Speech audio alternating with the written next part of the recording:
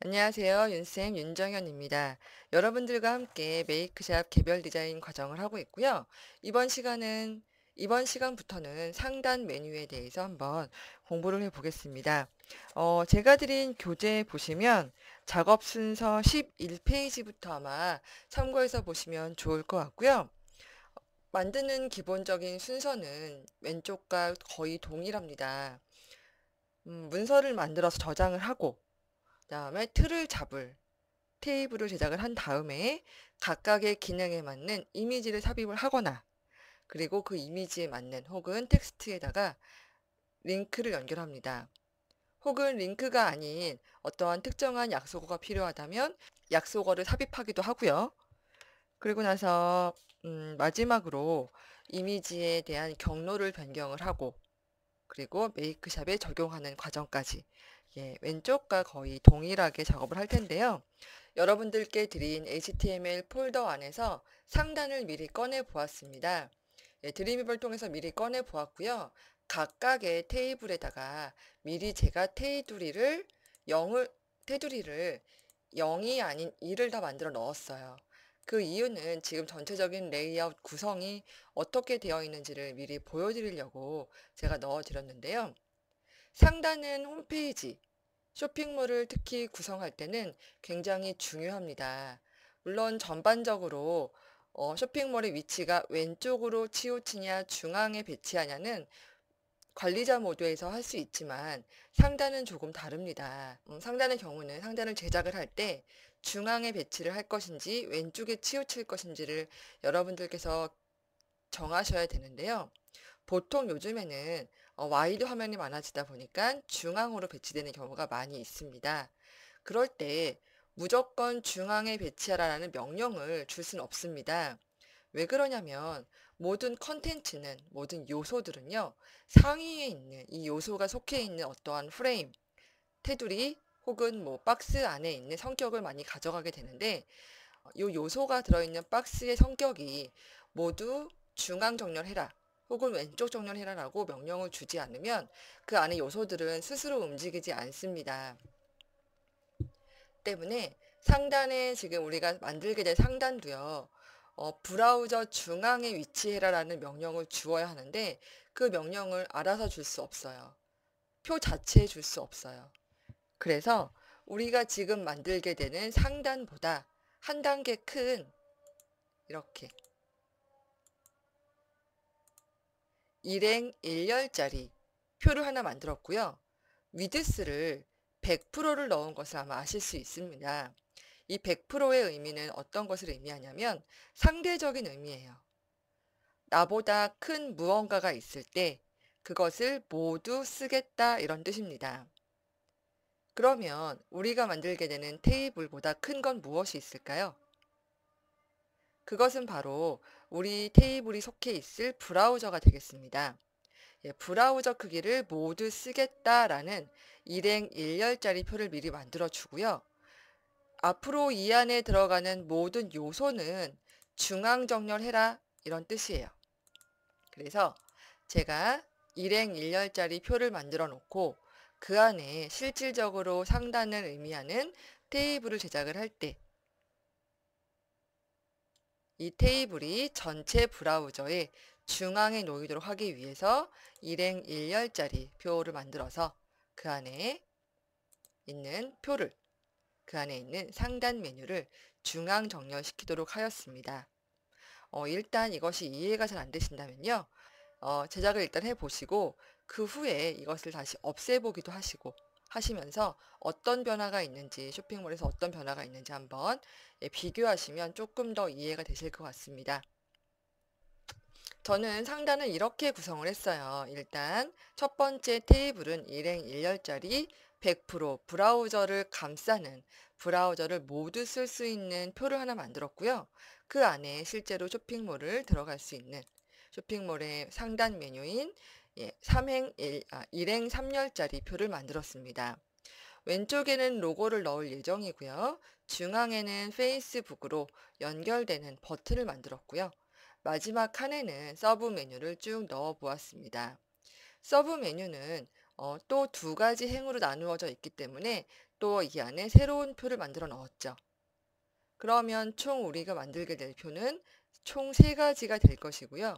여러분들이 구성함에 따라서 조금 더 많은 표가 나올 수도 혹은 조금 더 적은 표가 나올 수도 있습니다. 일단 저는 이렇게 했다는 거예요.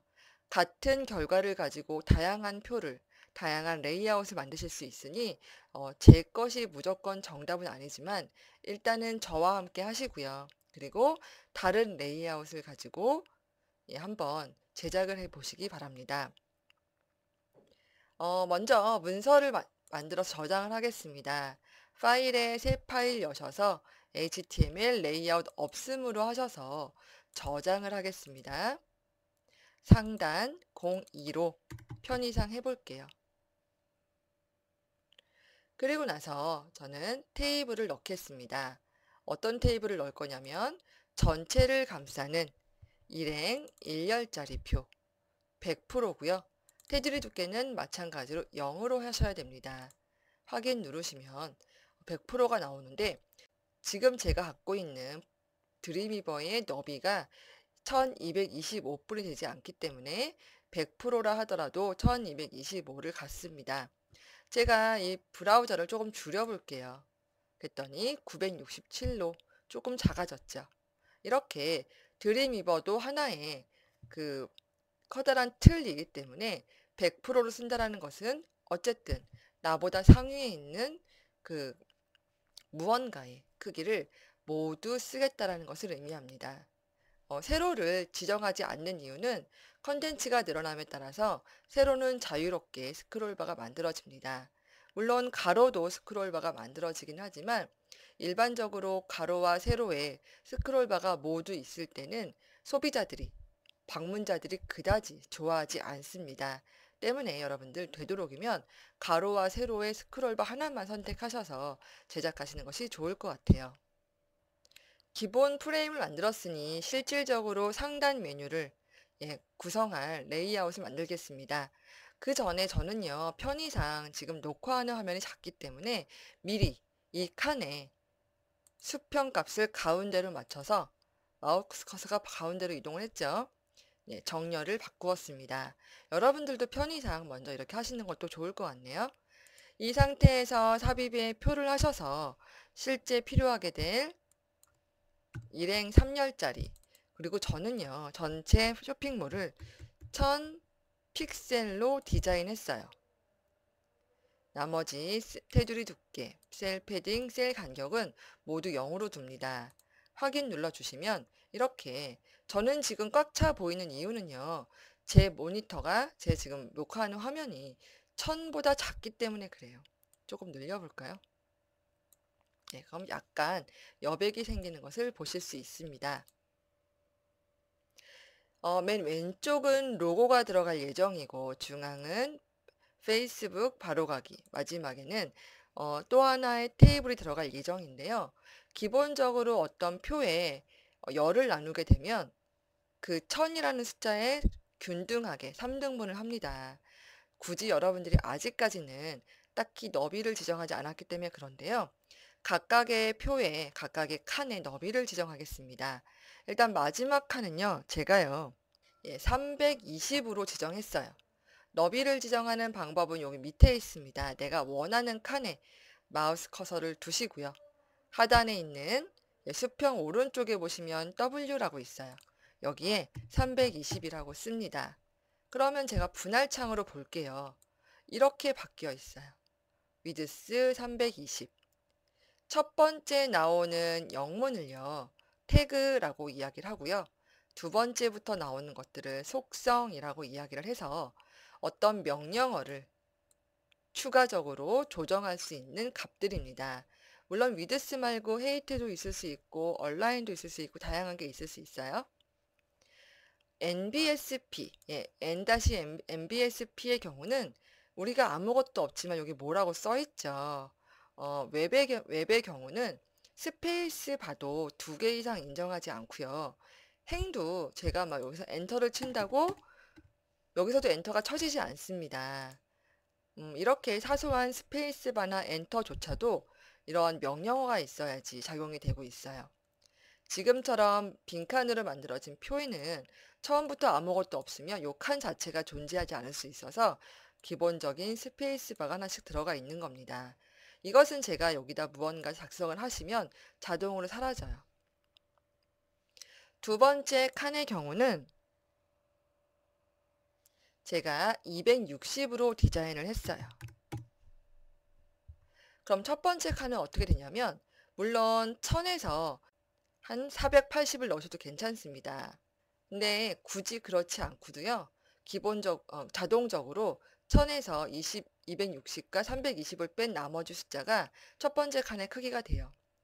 때문에 여러분들이 모든 칸의 너비를 지정할 필요가 없이 하나 정도는 그냥 두셔도 좋을 것 같습니다. 첫 번째 칸에 필요한 로고를 삽입하겠습니다. 삽입에 이미지 하셔서 한 단계 올라가서 이미지 폴더에 있는 이번엔 top이라고 하는 메뉴를 찾으면 되겠죠. top 언더바 로고라는 것을 하셔서 확인 눌러 주시고요. 여기도 뭐 로고라고 쓰시면 좋을 것 같습니다.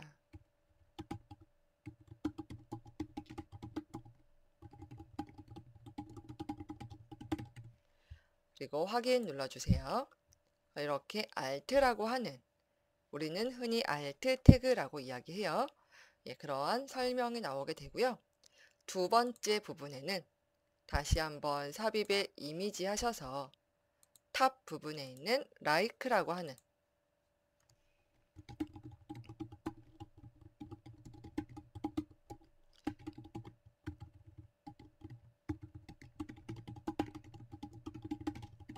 네, 이렇게 여러분들이 이렇게 입력하시면 좋을 것 같고요.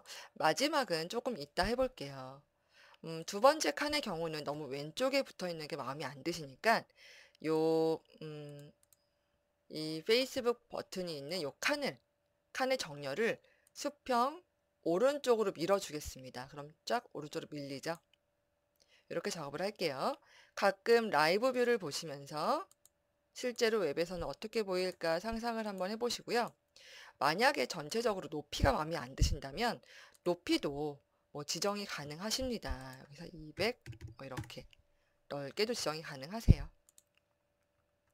어, 그 다음에 세 번째 거는 조금 이따가 하더라도 두 개에 대한 링크를 연결하겠습니다.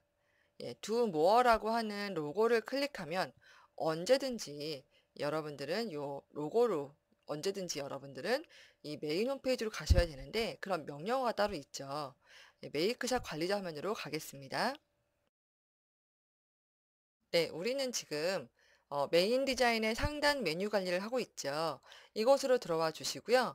예, 얘도 마찬가지로 보시면 코드 입력창을 보실 수 있고요. 그리고 쭉 내려오시면 해당되는 상단에 쓸 수 있는 다양한 기능들을 보실 수 있습니다. 우리는 여기서 무엇을 보실 거냐면 홈이라는 걸 볼 거예요. 이건 무슨 뜻이냐면 홈이라는 글씨를 클릭을 하면 a href는 링크란 뜻이거든요. 어느 페이지로 이동해라 이런 뜻이에요.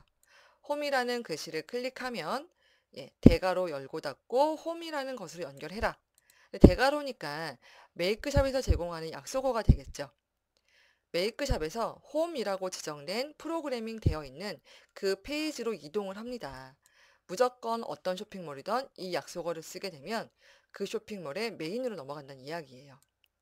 잘 선택하셔서 물론 간단한 영어이기 때문에 뭐 오류 없이 오타 없이 쓰실 수 있을 것 같고요. 이렇게 대괄호 열고 닫고 홈이라고 쓰시면 되고요. 이미지에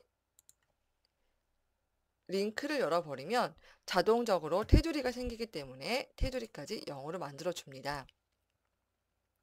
어, 그리고 두 번째 있는 예, 페이스북도 한번 해보겠습니다.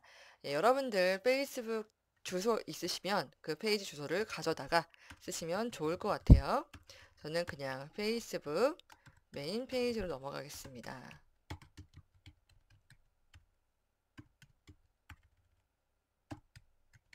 물론 조금 더 디테일하게 하시기 위해서는 API 같은 것을 이용해서 조금 더 뭐 자세하게 뭐 SNS를 활용을 조금 더 하실 수도 있겠지만 거기까지 모르시는 분들이라면 이렇게 여러분들 페이지로 연동하는 것만으로도 도움이 될 것 같습니다.